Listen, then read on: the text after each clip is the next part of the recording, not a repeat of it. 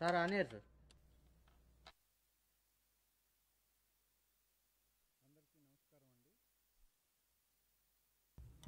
అందరికీ నమస్కారం. ఆంధ్ర రాష్ట్రంలో భూభక్షకుల భరతం పట్ట పట్టటానికి తయారుగా ఉన్నటువంటిది కూటమి ప్రభుత్వం.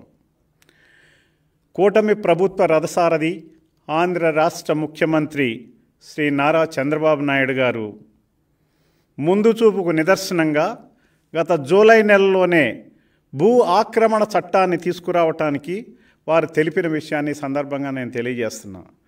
ఎందుకంటే పంతొమ్మిది వందల ఎనభై రెండులో ఉన్నటువంటి భూ చట్టం ఏదైతే ఉందో పంతొమ్మిది వందల ఎనభై రెండు ఇరవై ఐదు సంవత్సరాలుగా ఆ చట్టం అతీగతి లేకుండా దాన్ని పట్టించుకునే నాదుడు లేకుండా ఉన్న అవకాశాన్ని సద్వినియోగం చేసుకునే విధంగా జగన్మోహన్ రెడ్డి ప్రభుత్వం గత ఐదు సంవత్సరాలుగా రాష్ట్రంలో ఉన్నటువంటి అనేక మంది ప్రజల యొక్క భూములను కొల్లగొట్టి దారుణంగా తీసుకుని దారుణంగా రాత్రికి రాత్రి రికార్డులు మార్చి వాళ్ళ పేరున రిజిస్ట్రేషన్ చేసుకోవటానికి చేసుకుని అనేక వందలాది ఎకరాలను భూ కబ్జా పేరుతో భూ కబ్జా చేసినటువంటి విషయాన్ని ఈ సందర్భంగా నేను గుర్తు చేస్తా ఉన్నా. ఇటువంటి భూ కబ్జాకోరుల నుంచి కాపాడటానికి కూటమి ప్రభుత్వం రెండు వేల ఇరవై నాలుగు భూ కబ్జా నిరోధక భూ కబ్జా నిరోధక భూ కబ్జా భూ దురాక్రమణ నిరోధక బిల్లును తీసుకురావటం చాలా సంతోషదాయకం. ఆంధ్ర రాష్ట్ర ప్రజలకు ఆనందదాయకమని సందర్భంగా నేను తెలియజేస్తున్నా.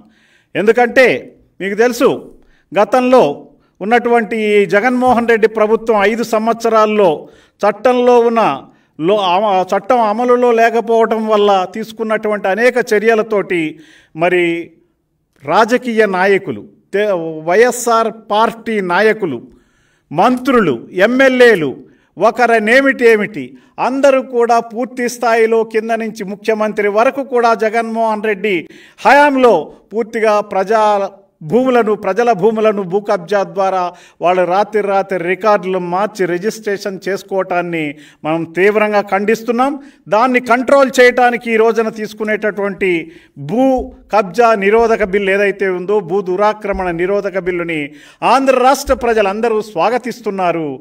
స్వాగతించి దీని మీద రాబోయేటటువంటి రోజుల్లో తీసుకునేటటువంటి అన్ని చర్యలు కూడా చాలా ఇబ్బందికరంగా ఉంటాయి. ఈ భూ కబ్జాకి పాల్పడిన వాళ్ళు ఎవరైనా ఉంటే వాళ్ళు భూ కబ్జాకు పాల్పడిన విషయాన్ని వాళ్ళు తెలుసుకుని వాళ్ళు వెంటనే సరెండర్ అయ్యారా? సరే సరి.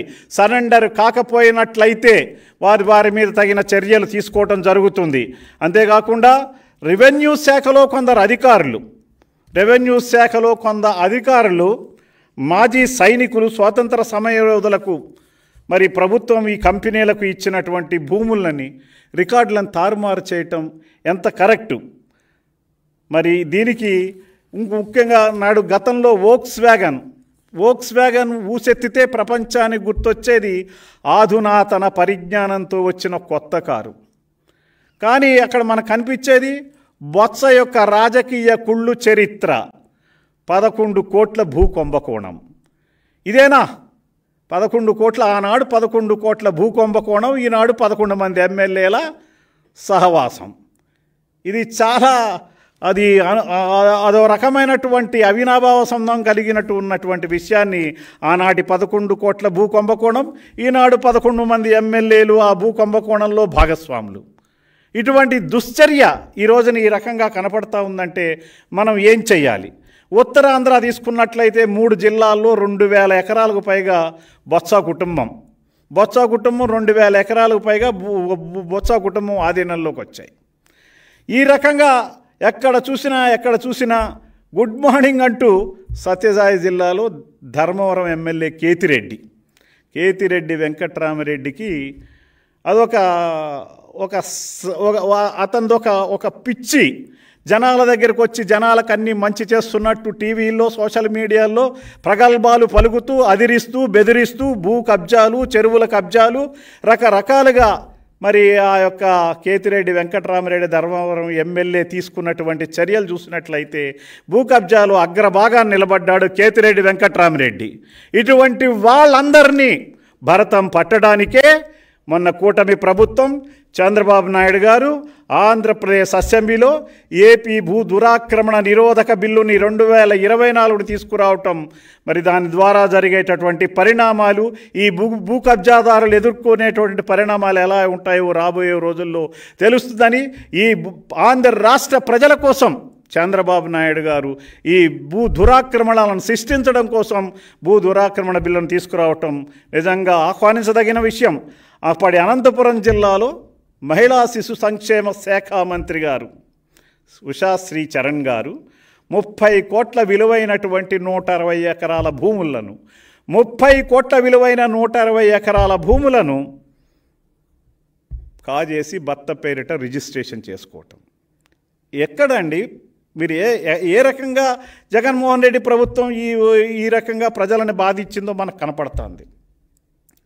భూ రాబందులు లెక్కలేనంత మంది భూ రాబందులు వాళ్ళందరినీ బయటికి లాగేందుకు వారి భర్తం పట్టేందుకే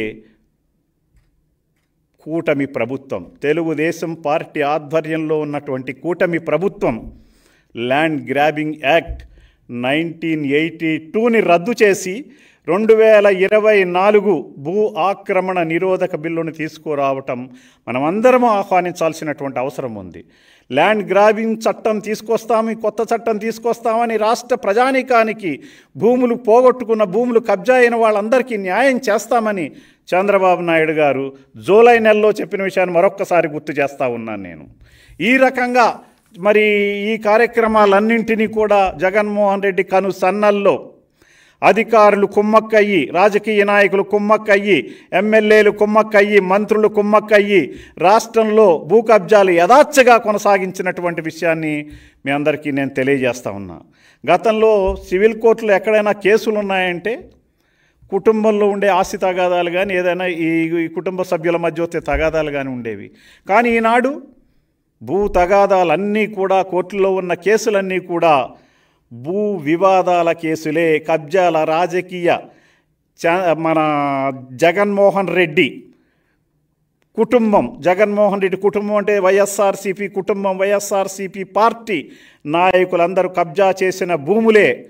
ఈ రోజున ఆ సంబంధించిన కేసులే కోర్టుల్లో ఉన్నాయనేటువంటి విషయాన్ని తెలియజేస్తున్నా. పేద మధ్యతరగతి ప్రజలను చెమటోడ్చి శ్రమించి సంపాదించుకున్నటువంటి ఆస్తికి చట్టం రక్షణ కల్పించనుంది.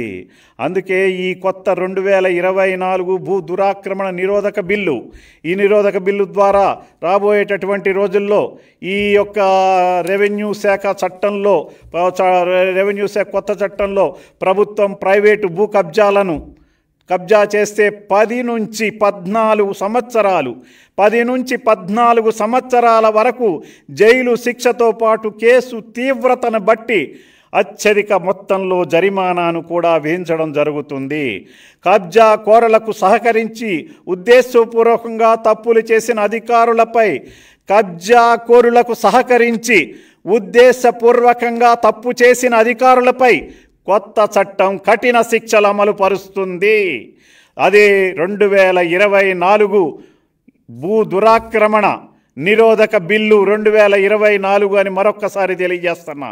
భూ కబ్జాలో అధికారి పాత్ర ఉందని నిరూపితం అయితే వారికి ఏడాది నుంచి ఏడేళ్ళ వరకు జైలు శిక్షతో పాటు వారి ఆస్తులను కూడా స్వాధీనం చేసుకునే దిశగా కూటమి ప్రభుత్వం నారా చంద్రబాబు నాయుడు గారి ప్రభుత్వం పనిచేస్తుందని ఈ సందర్భంగా నేను తెలియజేస్తా ఉన్నా. ఇప్పటికైనా భూ కబ్జాలు పాల్పడిన వాళ్ళందరూ ఈ కొత్త చట్టం యాక్షన్ తీసుకునే లోపల స్వచ్ఛందంగా ఎవరి భూములను వారికి ఇచ్చి తప్పు ఒప్పైపోయిందని చెప్పి ప్రభుత్వానికి సరెండర్ కావాలని నేను డిమాండ్ చేస్తా ఉన్నాను. ఈ యొక్క కొత్త భూ భూ భూ దురాక్రమణ నిరోధక చట్టం ద్వారా పేద ప్రజలకు ఆంధ్ర రాష్ట్రంలో ఉన్న పేద ప్రజానీకానికి చెమటోడ్చి కష్టపడి సంపాదించుకున్న తమ భూములను రక్షించడానికి చంద్రబాబు నాయుడు గారు నడుం కట్టుకున్నారు. వారందరికీ న్యాయం జరిగేలాగా కూటమి ప్రభుత్వం పనిచేస్తుంది. చంద్రబాబు నాయుడు గారు పనిచేస్తుంది అనేటువంటి విషయాన్ని మరొక్కసారి మీడియా ద్వారా సభాముఖంగా అందరికీ కూడా నేను తెలియజేస్తా ఉన్నాను అనేటువంటి విషయాన్ని మీకు తెలియజేస్తున్నా. అంతేకాకుండా మరి ఈ రకంగా జగన్మోహన్ రెడ్డి ప్రభుత్వంలో భూములు పోగొట్టుకున్న వాళ్ళందరి భూములను వెనక్కి తిరిగి తీసుకురావటానికి పూర్తి స్థాయిలో కృషి చేయడం జరుగుతుంది. అంతేకాకుండా మొన్న జరిగినటువంటి ఐదు ఎక ఐదు సంవత్సరాల్లో సెంటు భూములంటూ మొదలెట్టి లక్షలాది ఎకరాలను సెంటు భూములన్నీ మొదలెట్టి లక్షలాది ఎకరాలను వైసీపీ నాయకులు కబ్జా చేసుకుని వాళ్ళు ఇష్టగతిని వాళ్ళ పేరును రిజిస్ట్రేషన్ చేయించుకుని రాత్రి రాత్రి రికార్డులు మార్చినటువంటి విషయం కూడా ఉంది. పేద ప్రజలకు సెంటు భూమి అని చెప్పి దాన్ని కూడా వాళ్ళ హస్తగతం చేసుకున్న విషయాన్ని సందర్భంగా నేను గుర్తు చేస్తా ఉన్నా. ఖాళీగా జాగా కనిపిస్తే కబ్జా చేయటమే దినచర్యగా మార్చుకున్నారు. ఖాళీగా కనిపిస్తేనే కాదు ఎక్కడెక్కడ ఖాళీలు ఉన్నాయని వెతికి వెతికి వెతికి వెతికి ప్రజల యొక్క భూములను కబ్జా చేసినటువంటి ఈ దగాకోరు జగన్మోహన్ రెడ్డిని జగన్మోహన్ రెడ్డి ఎమ్మెల్యేలని జగన్మోహన్ రెడ్డి మంత్రులని తరిమి తరిమి కొట్టేటటువంటి అవసరం ఉంది. ఇంకా పద పదకొండు మంది ఎమ్మెల్యేలతో నేనున్నానంటూ పిచ్చి పిచ్చిగా మాట్లాడుతూ ఏమి చెయ్యాలో చేతకాకుండా ఈ రాష్ట్రాన్ని ఇంకా మరి రాంగ్ రూట్లో తీసుకెళ్ళటానికి మాట్లాడుతున్నటువంటి జగన్మోహన్ రెడ్డిని రాష్ట్ర ప్రజానీకం ఒక కంట కనిపెట్టాలని అతని యొక్క అబద్ధపు మాటలను ప్రతిరోజు అతను మాట్లాడేటటువంటి అబద్ధపు మాటలను అబద్ధాలను నిజాలు చెయ్యాలనుకునేటటువంటి మాటలను తిప్పి కొట్టడం ప్రతి ఒక్క పౌరుడి కర్తవ్యం అని ఈ సందర్భంగా నేను తెలియజేస్తా ఉన్నా.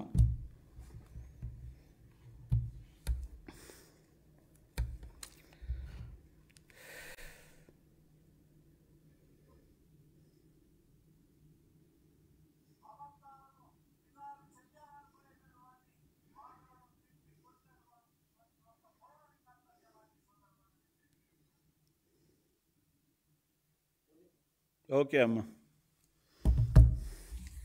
బాగానే వచ్చిందా సునీల్ పర్లేదా